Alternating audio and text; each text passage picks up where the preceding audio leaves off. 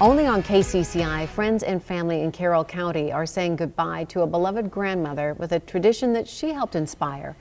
This is the final Kuemper Catholic Wave in honor of Deb Nieland. We told you yesterday that Nieland died after a battle with cancer.